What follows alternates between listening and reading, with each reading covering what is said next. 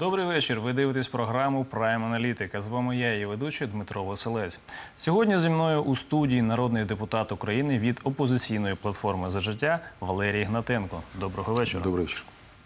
Та народний депутат України від партії Європейська Солідарність Микола Величкович. Доброго вечора. Добрый вечер. Порошенко проігнорував запрошення на допит від ТБР. Націоналісти анонсували віче на майдані 6 жовтня. Не продавай батьківщину. Аграрій проти продажу землі іноземцям. П'ятий президент України Петро Порошенко не з'явився на допит до Державного бюро розслідувань. Розслідувань сьогодні його планували допитати як свідка у справі про організацію незаконного перетину кордону України. Мова йде про поїздку Порошенка на Мальдівські острови за фальшивими документами. Раніше п'ятий президент України обіцяв пройти поліграф у прямому ефірі. Цього також не сталося. Загалом Петро Порошенко фігурує у 12 кримінальних справах. Е, На більшість допитів він не з'явився. Тому до вас, я думаю, Микола, перше запитання: чому Порошенко не поважає правоохоронні органи України і не з'являється на допити, тим паче на поліграф? Йому є що приховувати? Я не його адвокат, щоб знати, коли в нього які там приходять повістки по яких справах. Я можу говорити про політичну складову, а не про питання, які стосуються безпосередньо його тих справ, де його звинувачують або там, де він швидше проходить свідком. Швидше ми бачимо про те, що е, дуже часто ано- анонсують е, ті чи інші е, виклики в допит ми бачимо навіть не ДБР, а Портнов, який часто навіть часто вважається як чудноречником Державного бюро розслідування. І дуже Але часто він бачимо- по цих справах. Е, Можливо, але, але я думаю, що в даному випадку це мало бути швидше е, слід, слідчий орган, який е, ДБР, мав би е, це говорити. І друге, якщо Портнов знає про дні і години допиту, звідки? Адже це про це мають знати тільки слідчі органи. Тому дуже часто є підозра про те, що ДБР і Портнов співпрацюють, і це не безпідставно. Але все ж таки, як ви вважаєте, нормально, коли е, бувший президент України не з'являється на допити, коли е, державний по суті правоохоронний орган його на- запрошує на них? Це нормально так, от показувати приклад е, іншим? Ну як це розуміти? Ну, я вважаю, що перше, що всі Ну, громадяни, всі, всі, всі, точки громадя- зору. е, всі громадяни є рівні і ну, ну, перед законом. Я вважаю, що всі громадяни є рівні і повинні бути рівні перед Тобто ви вважаєте, що він повинен все ж Е, таки Я вважаю, що це має бути згідно закону. Тому що знову таки, щоб давати аналіз тих чи інших справ, треба бачити е, ті чи інші повістки, по яких справах, коли і чому. Ні, ну, це все я думаю, я думаю, що в цьому, в цьому, в цьому кон- випадку треба, щоб швидше адвокат давав коментарі, а не е, політи, депутати чи політичні е, політич, е, політики давали аналіз, чому, о, коли, в який конкретний випадок не приходить. Я був свідком того, як е, Петро Олексійович приходив в ДБР давати свідчення, е, був свідком цього. І думаю, і це було не раз. Але там 12 кримінальних справ, тому якось можливо. Ну, я думаю, що це було б коректно, щоб швидше давали е, адвокати, які в курсі справи, чому, що і як. Дякую. А з вашої точки зору, чому так сталося, що бувший президент України не з'являється на допити, і це нормально з вашої точки зору? Ну, я думаю, значит, должно быть уважение к закону у каждого гражданина однозначно. Но э, нужно прийти, я думаю, на допрос, но воспользоваться, если нет желания давать показания, статья 63 Конституции, и не давать показания в этой ситуации. Это, наверное, было бы правильнее такой, э, так поступить. Но э, это желание каждого. Я думаю, что те последствия, которые могут наступить, э, Петр Алексеевич понимает прекрасно за неявку, может быть, потом решение о приводе, если человек специально не является на заседание суда или э, допроса органов дознания. Поэтому как бы это его дело, он грамотный человек, и это его правовое поле. А як ви думаєте, він може провокує таким чином правоохоронні органи, щоб вони йому е, оголосили в розшук його е, і потім об'явити себе політичним в'язнем? Тобто, як ви думаєте? Ну, вы знаете, он медийное лицо, которое постоянно появляется на телеэкранах ежедневно, и основания бить его в розыск просто-напросто нет. Э, Сделать Ну, якщо привод- він не з'являється на допити Е, регулярно, тому я думаю, що логічно, як він же громадянин України в першу чергу. решением суда могут обязать его доставить в орган дознания либо следствия. но в розыск здесь объявить нельзя человека. Мало того, значит, в розыск объявляют только после того, когда у человека предъявлено обвинение. Тогда он не может считаться объявленным в розыске. Дякую. Замить до інших тем.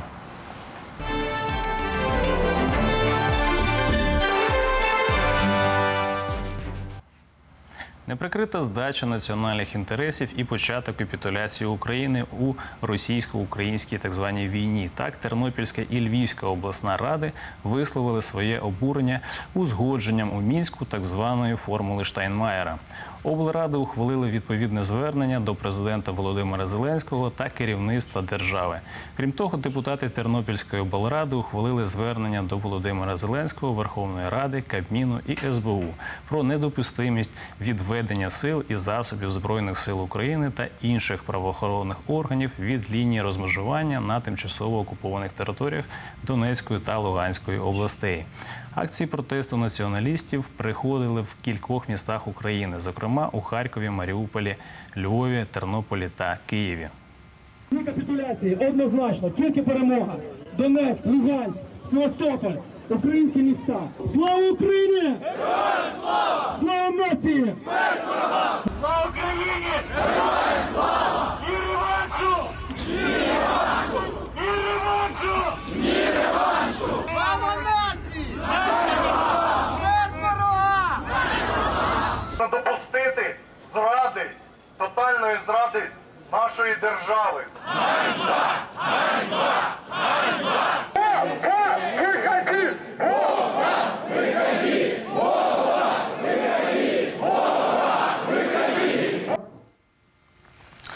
Пане Микола, до вас я думаю запитання. Як ви думаєте, чому ці люди збираються на площах і е, протестують?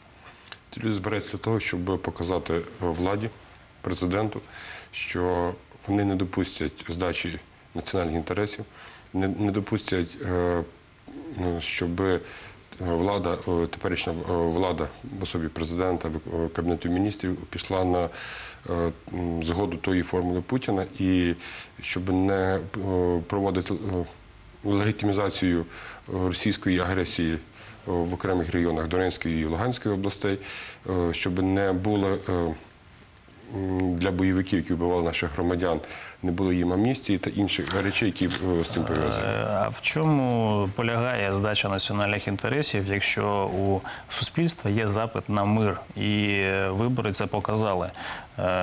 Конкретніше можете розвернути вашу відповідь? Я вважаю, що о, перше, о, ви кажете, що е, о, суспільство вимагає того, щоб ті території були повернуті під юрисдикцію України. І для української влади надзвичайно важливо, щоб ця територія була повернута в українське правове поле.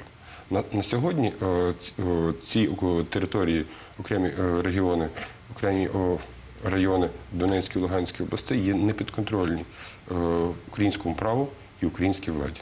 Там є російські війська, там є е, проросійські е, або навіть і російські е, адміністрації. Ну але всі ж ми надзвичайно розуміємо, що там більшість е, це громадяни України, а не російські але війська. В даному випадку, але, але тому кажемо, давайте ми візьмемо під контроль Україно-російський кордон, і ми з нашими громадянами знайдемо, знайдемо можливість спілкуватися, але без російських е, е, сил збройних, без російської е, ну, військової сили.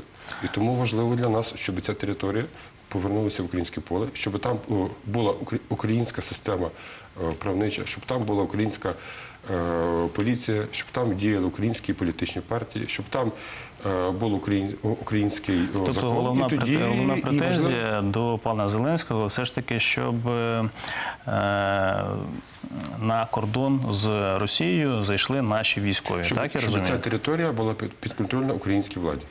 А що від цього зміниться? Дуже багато що зміниться, Наприклад? тому що, е, перше, це, це територія України.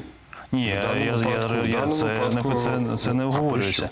Але я кажу, що е, навіщо ставити це, от, е, це питання таким чином, коли ми всі розуміємо, що там більшість це громадяни України, і зараз воюють на стороні опонентів теж більшість це громадяни Чекайте, України. Перше, громадяни, які воюють проти проти е, е, структури влади. Це є незаконні воєнні формування. Більше того, якщо вони фінансовані Росією, і більше там, там зараз кажу, там і більшість е, зараз е, багато зайшло саме російських е, військових. І це, е, це окупація. А у вас є така Це статистика, окупація. Я думаю, що це, я думаю, що це, я думаю, що це е, наші військові і знають, і про це неодноразово говорили, і е, це постійно демонструється про е, то озброєння, яке там опинилося. Звідки воно опинилося? Звідки воно опинилося е, озброєння, які є на е, озброєнні е, у Збройних силах Російської Федерації? Яким Е, чином воно дякую. туди опинилося? Дякую, ваша позиція зрозуміла. Е, Пане Валерію, скажіть мені, будь ласка, а з вашої точки зору, чому люди виходять на протести? Ну, мое мнение такое, что э, самая главная ценность любого государства – это жизнь человека. И поэтому государство должно сделать все, чтобы люди этой страны остались в первую очередь живы. Сегодня мы видим, вот действительно президентом сделан э, серьезный, огромный шаг в сторону примирения.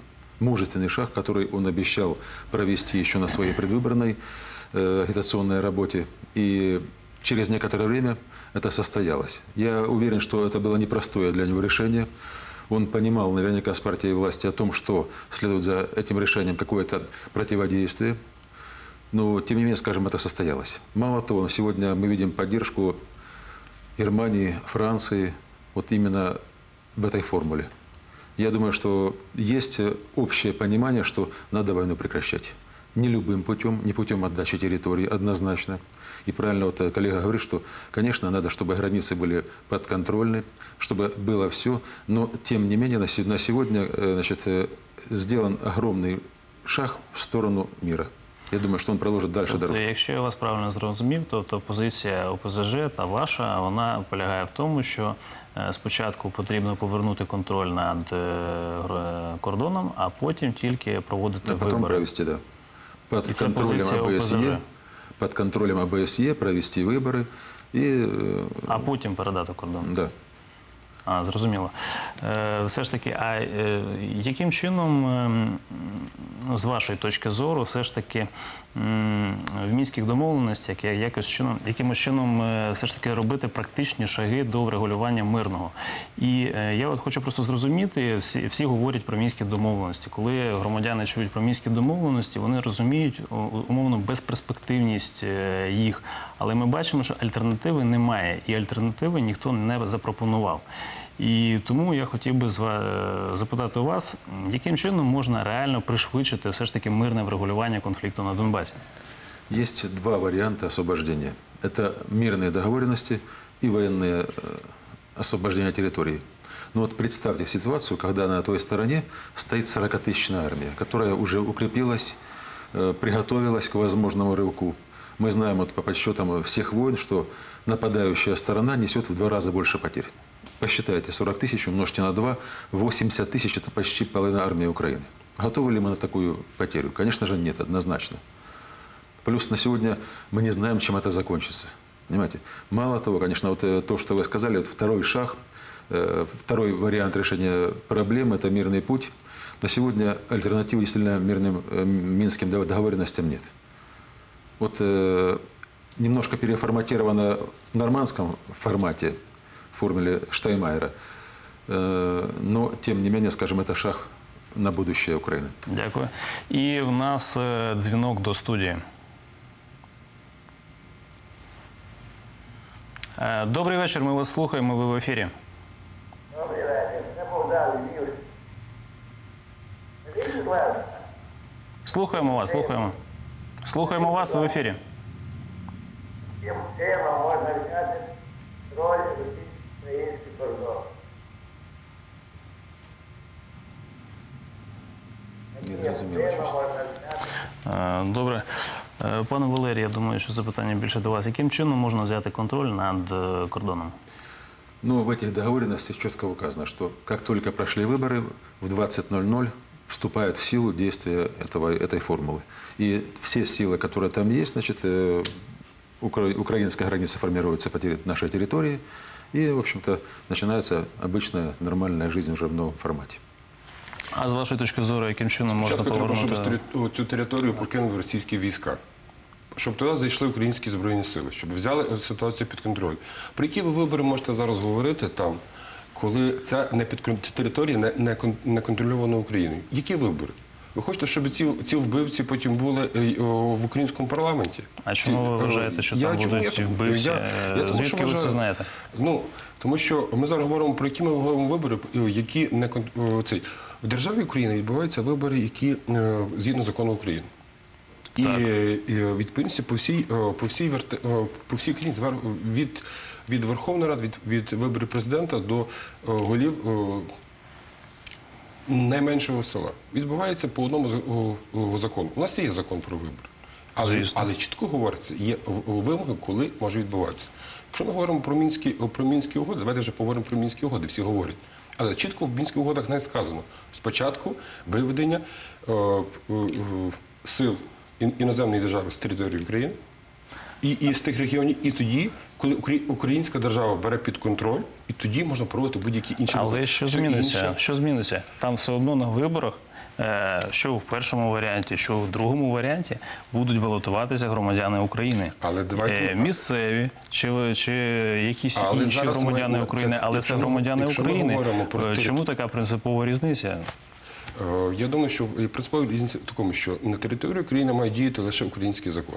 І в даному випадку, якщо ми говоримо про е, щоб е, там відбулися вибори, вони можуть бути при одній е, при в умовах. Перше, а цю територію покидають російські війська.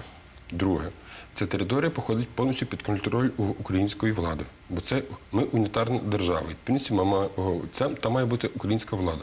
Там мають діяти українські партії. Там мають право громадяни, які є переселенцями, повернутися, мати Так, право і мати, і мати право. до цього. Вибачте, але о, о, о, мають повернутися і брати участь. Вони мають діяти українські політичні партії, так згідно, так на будь-якій іншій території. І тільки тоді, коли будуть роззброєні ці незаконні воєнзонні формування, коли ті, хто е, брали участь у вбивствах наших громадян, а служби е, ведуть і реєстр є. е, І відповідності, щоб ті люди не брали, як військові злочинці, не брали участі у ніяких процесах виборів в Україні. Тоді можна, можна про це Е, говорити. е, З Тільки вашої, після цього. з вашої точки зору, формула Штанмаєра це все ж таки крок до повернення українських територій і українських людей, які там проживають. Добре, чи ні? що таке формула Е, чи Давайте ні? уточнимо, що таке формула Штайнмайера, Я тому, думаю, що ми часто говоримо, тому що ми часто говоримо про формулу Штайнмайера, але ж вона ніде не зафіксована. Коли ми говоримо про те, що зараз відбулося е, безпосередньо кілька днів два дні тому, о, всю, всю країну, то е, це позиція швидше російської сторони. Це швидше о, Е, формула Путіна. Е, З цього приводу зараз е, подивимося дуже цікаве відео. Власне, іншу цікаву позицію щодо формули Штайнмаєра висловив народний депутат Володимир Ар'єв. Оце найголовніша мета зараз Путіна пошвидше впихнути заражені е, російською е, руським міром цією чумою території на, е, на в, тіло здорове тіло України, яке починаючи з 2014 року активно очищається. Ми рухаємося в Європейський Союз. А це буде нам гіря, яка не дозволить нам в принципі можна тоді буде забувати фактично про НАТО. Можна буде говорити, що ми будемо відкинуті назад до ЄС, тому що фактично ці території кладуться їхнє забезпечення, а, контроль над безпекою, відновлення фактично, коли все буде йти на, на плечах України. А там руїна, там більше від промислового Донбасу, який, е, е, який раніше давав величезну кількість е, коштів в бюджет України, зараз нічого фактично не залишилося. Е, Пане Миколе, я думаю, це питання теж до вас. Е, Вважаєте ви висловлювання, висловлення свого однопартійця Ар'єва е, закликами до сепаратизму та відокремлення Донбасу чи ні? Я вважаю, що нам треба взяти Донбас, ці окремі регіони, райони Донецької Луганської області під контроль, під український контроль, щоб там існувало українське право, щоб там існувало українське політичне життя. І що таке? Та- Там ще громадяни. А часто вони є заручниками от, о, тих військових о, формувань під контролем російських збройних сил. І е, люди часто хочуть, щоб українці т- щоб туди повернулася Україна, українська влада. Путін же намагається е, зруйну- зруйнувати. Я, я розумію, що є Ну, частина, що є і, і, ви і тих, що не ви хочуть. говорите зовсім інше. От Арів сказав одне, ви е, протилежна позиція зовсім. Тобто Арів прямим текстом каже, що е, Донбас, повернення Донбасу в Україну це план Путіна. А ви кажете все ж таки, що ми навпаки. Ви трошки, ви, трохи переключуєте слова, мені так видається, Володимир Арві, знає його позицію. Бо Путін намагається з тими всіма збройними с- тими незаконно воєнізованими формуваннями, які там є, з тими всіма питаннями, які зараз є без контролю, без контролю української влади, о, відда... е, не то, що віддати Україні, а намагатися, щоб вони впливали на українську, українську політику. Ми ж говоримо таке, що це просто о, Володимир не до кінця розши- розшифрував, але ми говоримо про повернення, але при умові того, що не можна просто ми прийти, все, давайте. От ви вчора стріляли, вбивали наших громадян, вбивали наших військових, а тепер ми вам все вибачаємо. Такого не буде. Дякую, ваша позиція зрозуміла. А з вашої точки зору, яким чином все ж таки е, ви прокоментуєте виступ е, Аріва з цього приводу? Знаете, когда приезжаешь на территорию Донбасса, вот откуда я, в общем-то, избран, избран депутатом Верховной Рады, понимаешь немножко другие вещи. Мы вот входим э, в зиму, людям негде жить. В каждом городе десятки тысяч переселенцев, которые хотят вернуться на свою территорию домой, Донецк, Горловку, Макеевку, неподконтрольной территории, а этого сделать не могут. У того жилья нет, у того другого, у того работы нет. И сегодня, конечно, вот я э, послушал выступление э, тоже коллеги Арьева, э, понимаю, что, конечно же, Донбасс разбит. Конечно, нужно его восстанавливать. Это огромные финансовые ресурсы. Но, значит, есть опять же предложение в этой формуле, что создать свободную экономическую зону, которая возрождала не одну страну, не одно государство быстрыми темпами. То есть дать возможность привлечь инвестиции на территорию. Здесь э, как бы не тот ресурс будет уже со стороны Украины, как со стороны иностранных инвесторов сюда идти на восстановление Донецкой и Луганских областей. Я думаю, что э, на сегодня, конечно, можно упереться лбами и сказать, что это неправильно. Вот должны действовать только такие законы. Ничего нового не изобретать. Мы будем еще пять лет стоять. А ви не вважаєте, що це таке висловлю- висловлювання Аріва це заклики до сепаратизму та пряма кримінальна стаття? Э, Скрытая форма сепаратизма здесь просматривается, конечно. По большому счету, знаете, вот э, сегодня тему сепаратизма можно с разных сторон раскручивать. И говорить, что вы сепаратисты. Э, Значит, э, к этой теме имеют по большому счету все отношения. В этом уголовном процессе могут быть все люди участвовать. Кто свидетелем, кто обвиняемым, кто подозреваемым. То есть, как бы все, кто там находился в этот период времени, и сегодня находясь на Украине. Ну вот давайте вот вернемся в 2014 год. Я, будучи городским головой одни- одного из городов Донецкой области в это время, понимаю, что происходят незаконные действия. И, значит, э, нет ни одного указания с центра, с областного центра, с центра страны, как поступать э, органам правопорядка. Але є законодавство України. Да, но нет ни одного солдата, который бы стоял бы, защищал бы здесь. И нет его три месяца. Понимаете? Три месяца не было ни одного вооруженного человека здесь, который бы ск- пришли и сказали, что вот мы будем э, заниматься освобождать. Как вот? Где, где была Украина в это время? Зрозуміло, дякую. Тим не менше, якою б не була позиція представників різних парламентських фракцій щодо формули Штайнмаєра, щодо надання особливого статусу Донбасу та виборів на окупованих територіях, в проєкті Держкошторису на 2020 рік, який уряд вже вніс на розгляд парламенту, закладені гроші на проведення місцевих виборів на Донбасі. Про це повідомила очільниця Мінфіну Оксана Маркарова. Е, Пане Валерій, як ви прокоментуєте цю новину? Ну, я думаю, это реализация тех действий, которые были уже озвучены президентом. То есть э, готовность начинать проведение этих мирных шагов. Может быть, здесь какая-то будет заложена, и э, это впервые Украина проходит такой шаг, такой путь. Возможно, какие-то будут ошибки, однозначно. Но это лучше, чем просто тупо воевать, стоять, упираться, терять людей, э, терять экономику полностью и ничего не делать. Мы теряем Ви, время. ви просто. знаєте, які саме цифри були закладені у проект бюджету з цього приводу чи ні? Е, к- Щодо виборів на Донбасі, достатньо буде їх чи ні? Ну, давайте так скажем, отдельные статьи, строки расходов на содержание проведения выборов на неподконтрольной территории в бюджете я не видел.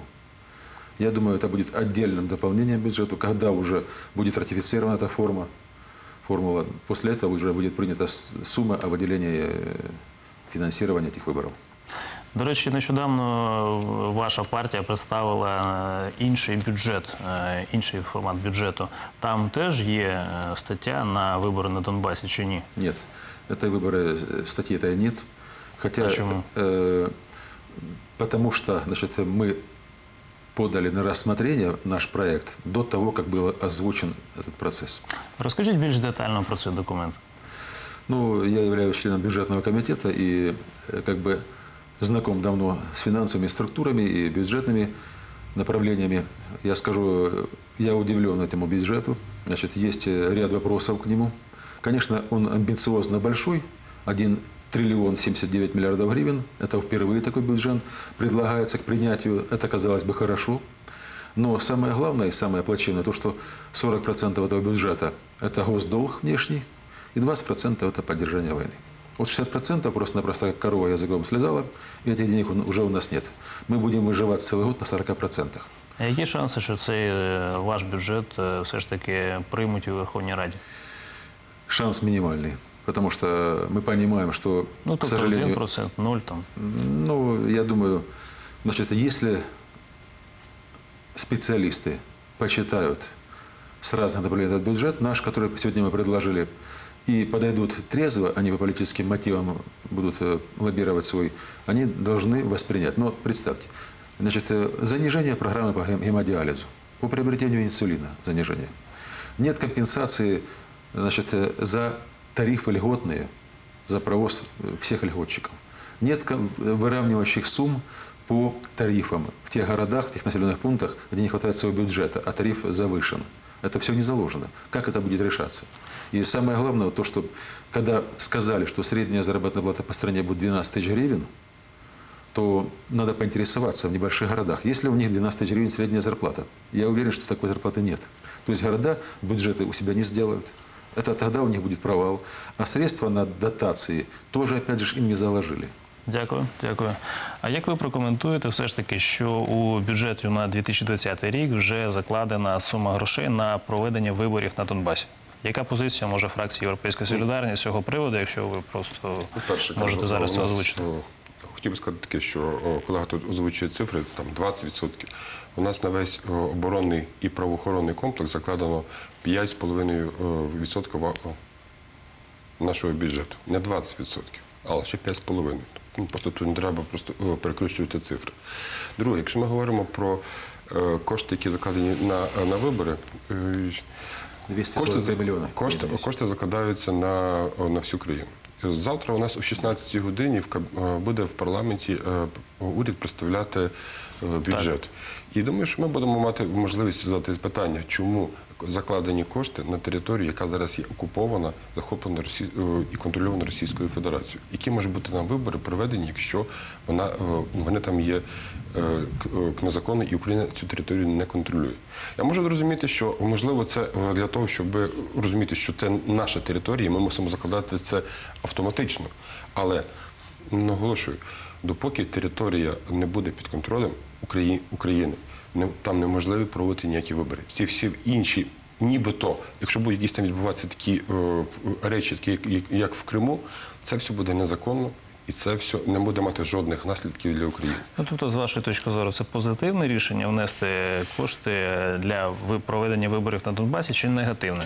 Я вважаю, що кошти мають бути закладені ті, е, на, на ті території, які є підконтрольні Україною. Тому що просто закладати, резервувати гроші е, там, де можна зараз закласти кошти на проведення в Криму. Це наша територія. Але, але ми розуміємо, що поки там знаходиться російські е, е, е, Російська Федерація, це окупована анексована наша територія, так само і в Донецькій Луганській області. Тому там неможливо проводити і вибори. І відповідні кошти тут нема чого закладати, тому що це територія, яка нами не контролюється. Угу. Зрозуміла ваша позиція. Е, скоро я думаю, що завтра вже буде е, Кабмін презентувати свою програму на годині. 5 років е, план дій. Е, Як ви прокоментуєте, і під- буде підтримана ця програма залом і фракцією Європейська Солідарність чи ні? Ми зараз вивчаємо, працюємо ще е, ті питання, і завтра ми будемо от задавати е, питання, уточнювати, виясняти, чому ті- ті чи інші позиції, і тоді будемо визнача- визначатися безпосередньо з тим. Поки що е, програма е, Кабінету міністрів, яка була е, ну, прем'єром озвучена про 40% е, за, за 5 років зростання України на 40%, ми бачимо лише в бюджеті на 2020 рік зростання лише на 3,5%. І це навіть менше, ніж планував, ну, в середньому, щоб поділити навіть тих самих 40 там, на 5, це ми бачимо, що набагато-набагато менше, ніж, ніж планувалося. Тому е, ми е, втрачаємо зараз через певні події е, виступи нашого президента на міжнародному рівні, ми втрачаємо певну підтримку. Чи захоче будь-яка інша країна вкладати гроші е, в регіони, які не контролюються е, державою, не буде. В цілому світі ніхто не вкладає гроші в території, які не контролюються і не, в яких не, ну, нема стабільності. Тому е, ну, досить скептично ну, ставимося, але завтра будемо бачити і спілкуватися конкретно. А ви ще не бачили цього документу? Ми, ми спілкуємося. Ми зараз хочемо для того, щоб аналізувати. Ми зараз е, задати запитання, от, отримати задати професійне запитання, отримати кваліфіковану відповідь.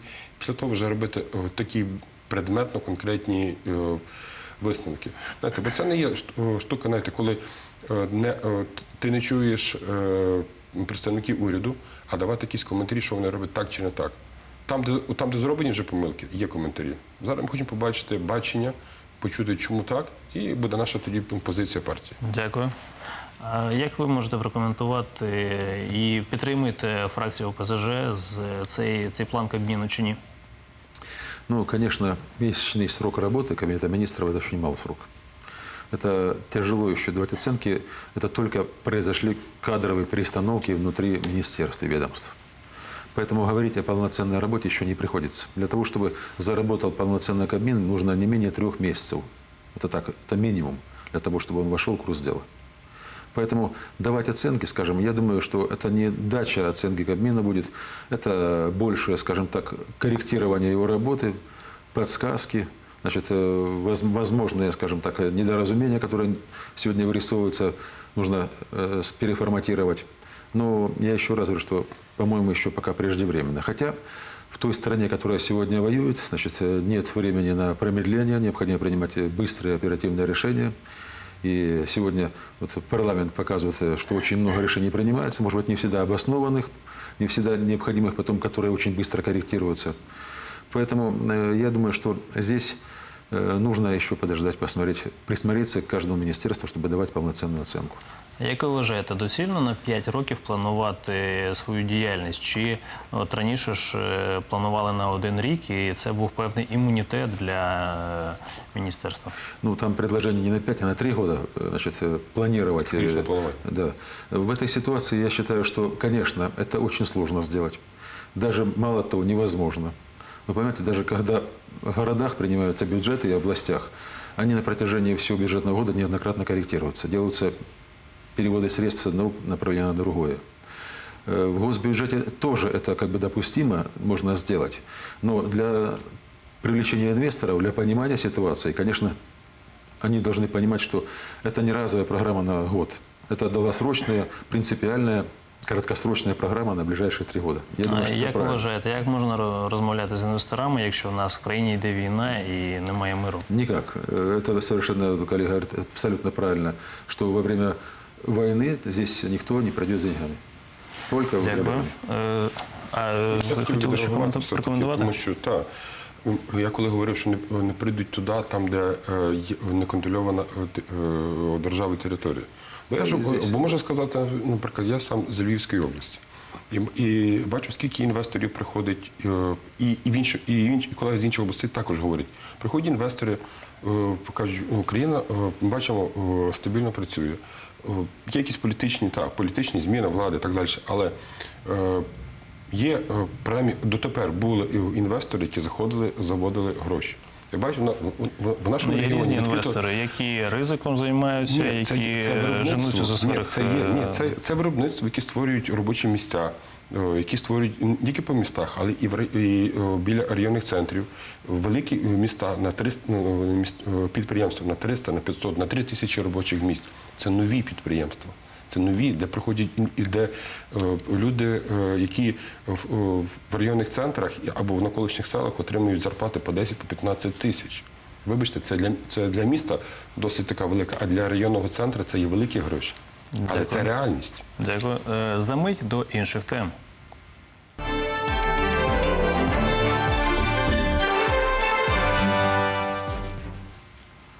Сьогодні вранці кілька тисяч людей протестували проти продажу землі іноземцям біля будівлі Верховної Ради.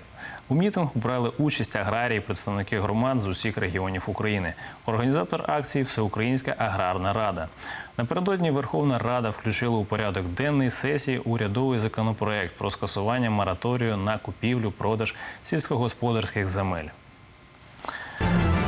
Ми будемо відстоювати до останнього це в Верховній Раді, пропонувати депутатам, щоб вони не голосували, пропонувати уряду, щоб вони відкликали цей законопроект. І наостанок ми будемо стояти на сторожі захисту, перш за все, української території. 72% української території батьківщина не дасть продати через цей закон, який просто дозволяє розпродавати українську землю. Нет продажи земли.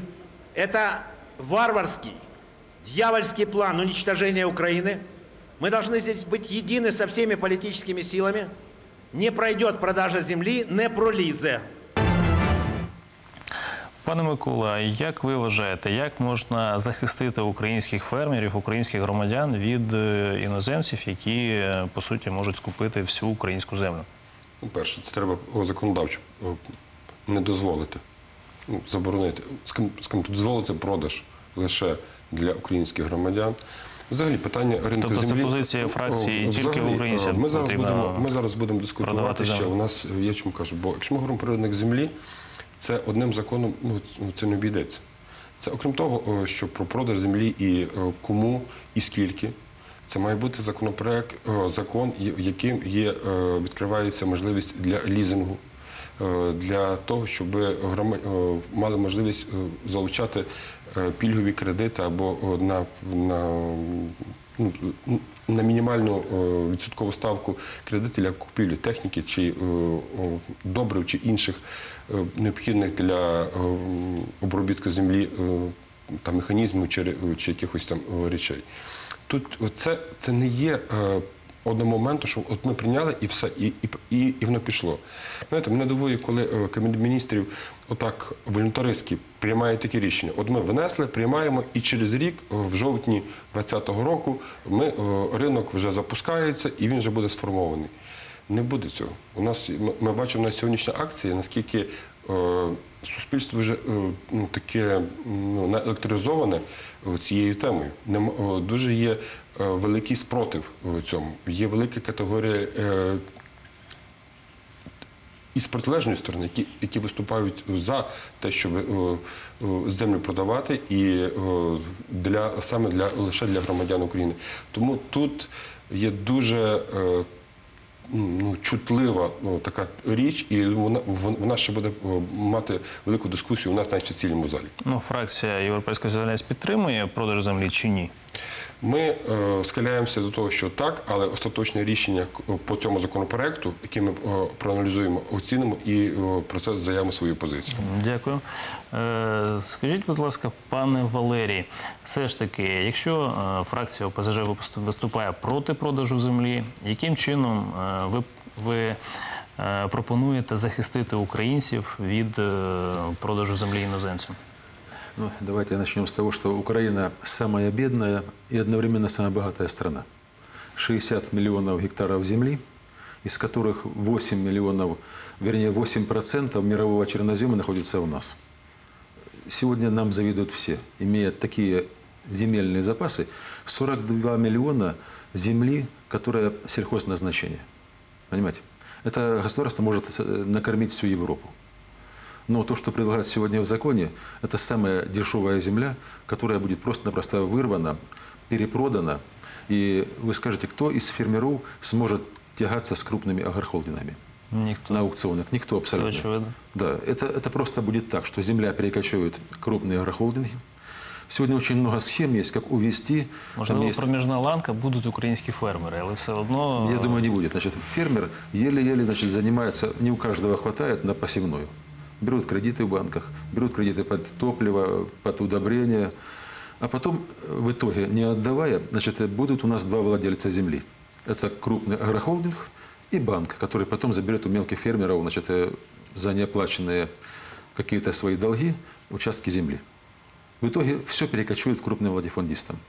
И то население, которое надеется, что с этого что-то получится, ничего у них не останется. Сегодня осталось всего лишь 6 миллионов землепользователей украинцев, которые имеют паи на 40 миллионов населения человек. Ну, э, 40 миллионов жителей Украины. А как же остальные жители? Если в законе 13 статья Конституции четко указано, что все жители Украины имеют право на землю. Собственность э, людей, э, территория Украины, земля. Как тогда мы будем поступать с теми 34 миллионами жителей Украины, которые не получили свой пай?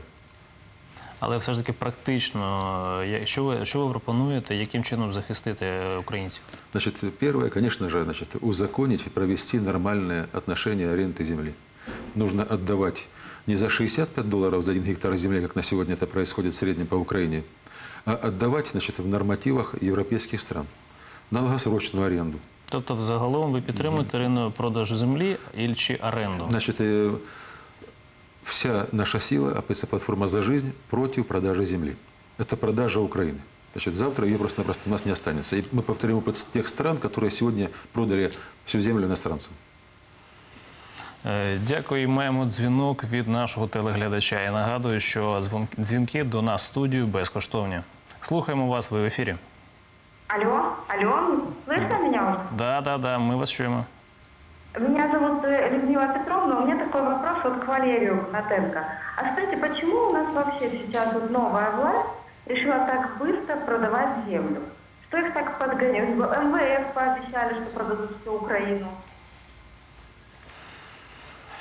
Ну, э, скажем, давайте э, более конкретно, скажем, не наша сегодня фракция, другие силы, которые сегодня хотят инициировать вопрос продажи земли, и мы не согласны с такой позицией. Однозначно партия «Слуга народа».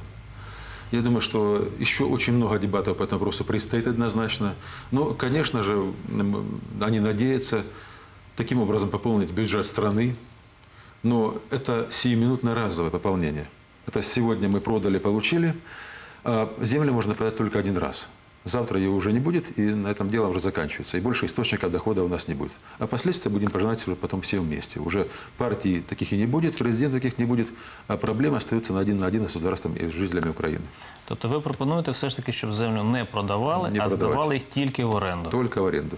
Пока, пока не будет упорядочен рынок земли, пока не будет проведен кадастр норматив, пока мы не увидим границ территориальных единиц, пока не- мы не увидим реального размежевания этих участков, пока мы не сможем провести, узаконить нормально земельные аукционы, значит, это все бессмысленно.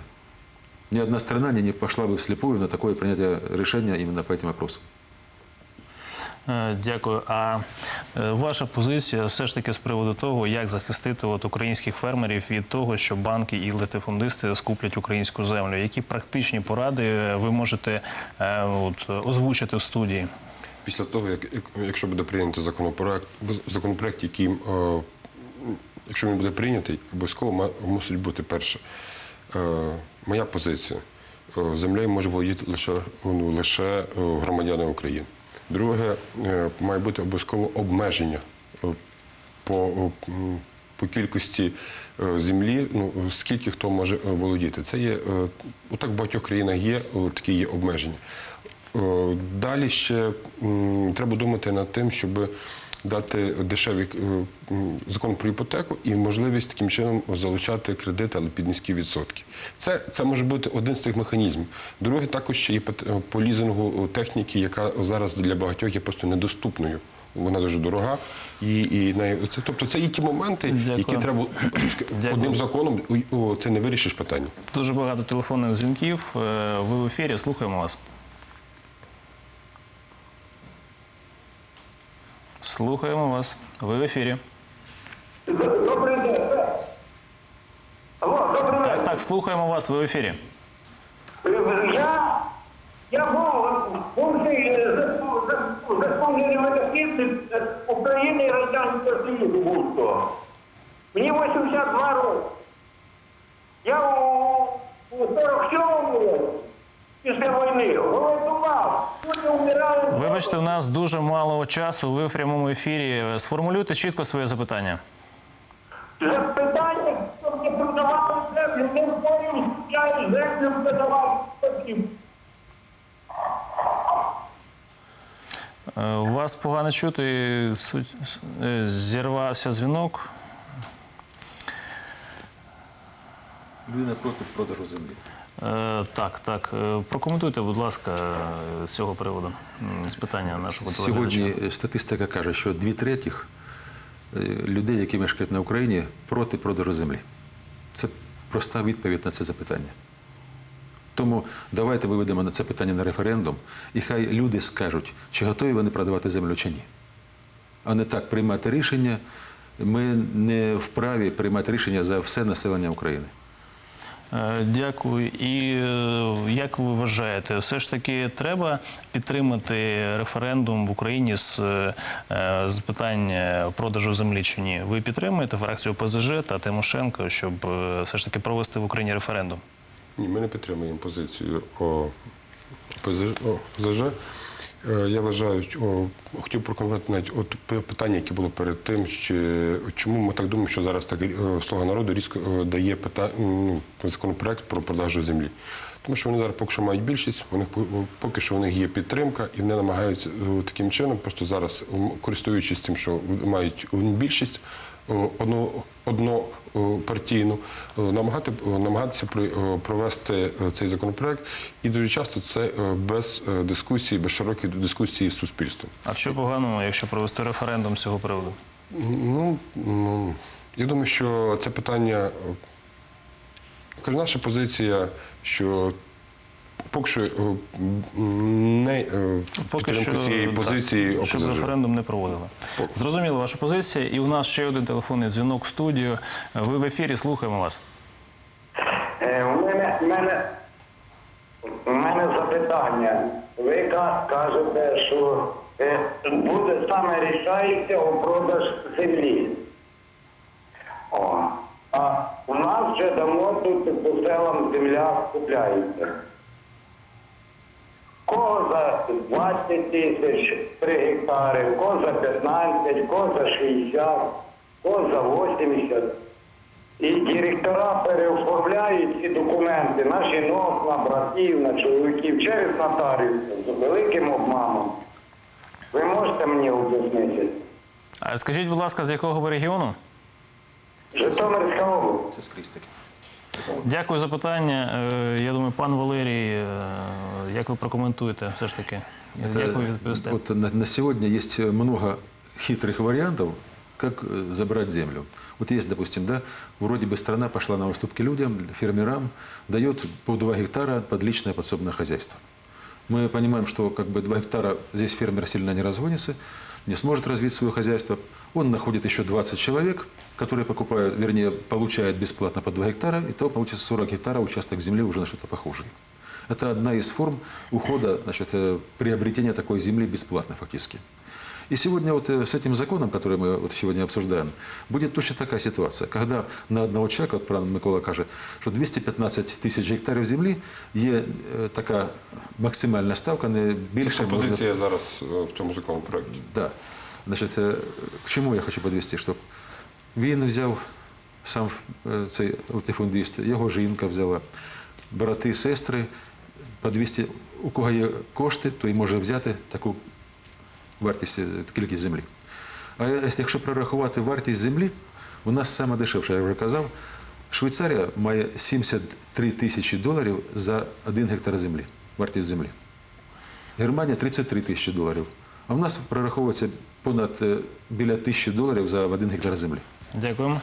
А як ви прокоментуєте коротко, бо нас- дуже багато телефонних сьогодні- У нас на сьогодні і так йде е, прихована е, скупка землі через е, оформлення оренди на 49 років, ніби оренда, але фактично це вже є як на власність, так що це вже є е, відсутність закону по землі. е, е, е, с- Стимулює таку тіньову, е, тіньову скупку землі, яка зараз є. До речі, це мільйони гектарів. Дякуємо вас. І у нас ще один телефонний дзвінок в студію. Е, Слухаємо вас. Ви в ефірі, говоріть. Алло, я ще слышу. Дякую. Ви в ефірі говоріть. е, Ви в прямому ефірі. Е, Поставте своє запитання, ви в прямому ефірі. Говоріть. Це з Полтавської області до вас балакаю. Нас найбільші чорноземи. І я вважаю, що те, що продадуть землю, то, вже буде в країні, і в кінець буде. Не Е, Дякую, зрозуміло. Е, Пане Микола, по кілька реплік е, з цього Люди приводу. вболівають, о, переживають, о, щоб, ну, щоб в них не забрали їхню землю, на якій родилися вони, і роди- о, виросли їхні покоління. Я думаю, що люди тому і переживають і не знають, що відбувається. Бо Тому що від, від уряду ми не чуємо їхньої позиції, як він це бачить. Е, Пане Валерія, що ви скажете з цього приводу? Приедете в любое село, значит, что вы там увидите? Значит, э, проживают в основном пенсионеры, у которого доход пенсии, если можно назвать доходом, небольшое подворье, подсобное хозяйство и сумма за пай, которую он получает там, э, через путем обманов. Если сейчас забрать у него этот пай, значит, у нас умрет украинское село полностью. Он, человек на пенсию в селе выживать не сможет. Если еще это возрастной человек, он не сможет держать эту корову, этого поросенка, и просто-напросто украинского села не будет. Я считаю так. Дякую. Е, За мить до інших тем.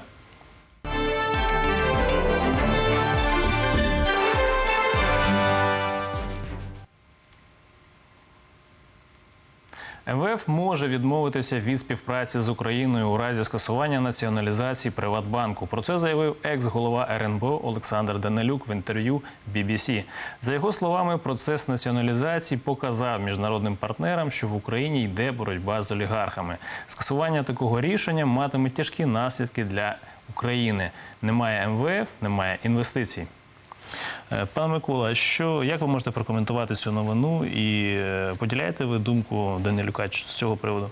Чи ні? Так, всі економісти говорять, і весь світ говорить про те, що якщо це відбудеться, то о, міжнародні фінансові інституції, міжнародні наші партнери будуть мати о, ну, дуже о, велику то, що проблему буде Україна буде мати через відсутність е, бажання тих структур співпрацювати з Україною.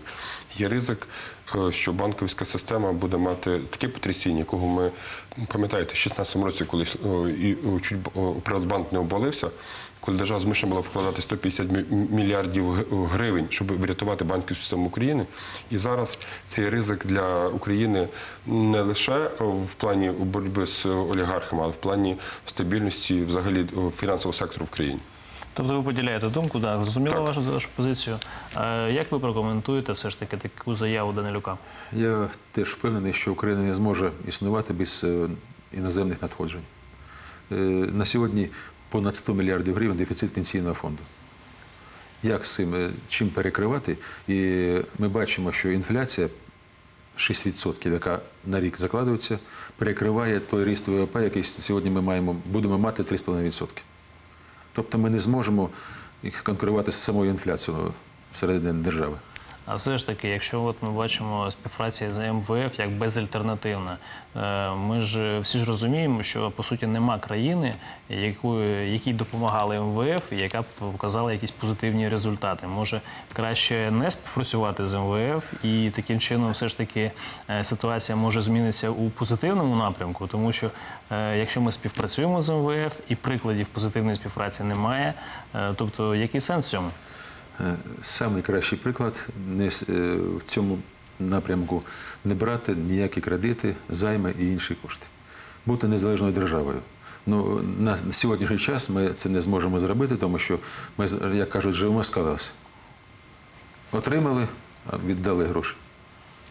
І якщо це питання перестане зупиниться, тоді ми завтра не зможемо бюджетникам віддати кошти, е, пенсіонерам дати пенсії і інше. А як сталося так, що ми без кредитів е, не можемо жити? Е, Хто в цьому винний? Це, знаєте, крайнього в цій ситуації не знайдеш.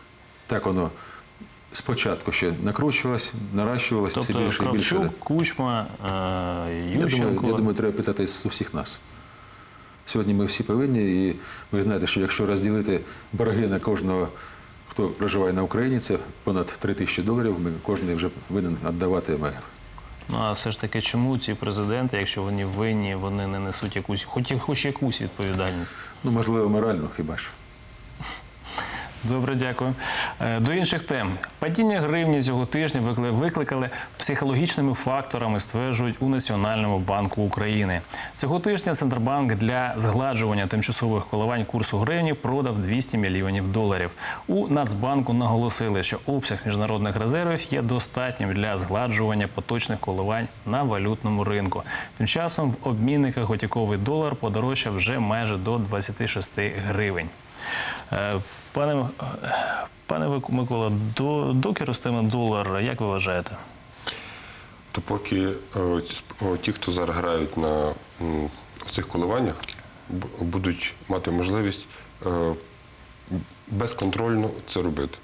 Зараз це питання до, до Мінфіну і до Національного банку. І думаю, завтра, е, коли будемо говорити про бюджет, е, ми будемо говорити, чому зараз ми бачимо одна за тиждень коливання е, о, по долару майже півтора гривні пішло. Е, Долар закладений, е, бюджет закладений при, е, при долару 28,2, якщо не помиляюсь. І ми будемо говорити, чим це зумовлено, оці коливання, оці е, стрибки е, по долару. Бо дуже, дуже різкі за тиждень були оці стрибки, дуже е, підозріло, що це йдуть просто якісь спекулятивні моменти. Тобто Добре, зрозуміла ваша позиція. Ви все ж таки представник е, бюджетного комітету. Я думаю, ви е, в курсі, чому так само так сталося в Україні, що так стрімко пішов угору долар. Я думаю, що держава е, всі ризики ставить на кон. І якщо нема зовнішніх коштів, того МВФ, вони розуміють, що якщо зайде, наприклад, 1 мільярд е, доларів, це буде 28 мільярдів гривень або 24 мільярди гривень. 4 мільярди це ті напрямки, які можна перекрити державою. Це проста формула, я так думаю. А ви скажіть, наскільки в нас зростає наша заробітна плата в бюджетних е, підприємствах, е, установах бюджетних? А 4 мільярди це напрямок, який можна перекрити цією курсовою різницею. Добре, дякую. Повернемось до теми землі, бо дуже багата кількість телефонних дзвінків. І е, приймаємо е, телефонний дзвінок. Ви в ефірі. Слухаємо вас. Добрий вечір. Доброго вечора. Я заслужений України і душа Радянського Союзу. Я прошу не продавати землю, не рішити питання про землі. В оренду, в оренду. Бачите. Е, Як бачу, ця тема землі дуже болюча для народу. Як ви можете прокоментувати цю відповідь? Я думаю, що треба спілкуватись з народом своїм. І ми, хоч і депутати Верховної Ради, але приймати це рішення треба дуже зважено. І щоб потім не було дуже болісно за ті рішення, які на сьогодні йдуть проти народу. Е, Дякую. Ви- Як ви ще можете прокоментувати цю тему? Е, Я думаю, нам треба готувати. Якщо ми говоримо про е, питання ринку землі, це одним законопроектом, одним законом не обійдеться. Тут треба цілий комплекс приймати при законів, е, зважувати, яким чином запустити гроші, завести гроші в. Е, ну, в- ну, в- ну, цей ринок і для того, щоб створити запобіжники, для того, щоб е, землю не скупили ну, латифундисти. Е, Добре, дякую. Дві хвилини до кінця ефіру. Приймаємо ще один телефонний дзвінок. Ви в ефірі. Слухаємо вас. Значить, Полтава турбує вас. Я вас прошу, референдум, що б не було, потрібно питати тих, хто має землю. А якщо її немає, то навіщо їх питати? Це перше. І головне питання. Ви дивіться, що має бути. Тисячу доларів 2000 ви пропонуєте за гектар. Дякую. Получається, що людина чекає її 80-90 років, в неї нема зубів, в неї немає нічого. І вона готова продати. Все, дякую, дякую. У нас е, до кінця ефіру декілька секунд. Е, По 15 секунд буквально репліка з вашої сторони. Ви бачите, шість дзвінків підтверджує нашу думку, що землю продавати ні в коєму разі не можна. Тут я не згідний з, позицією колеги. Думаю, що це, це питання дискутивне, і зараз значна кількість людей все-таки є, є за те, щоб ринок, ринок землі був. Е, дякую нашим гостям за змістовну розмову. Е, це була програма Прайм Аналітика. З вами був я, її ведучий Дмитро Василець. До зустрічі.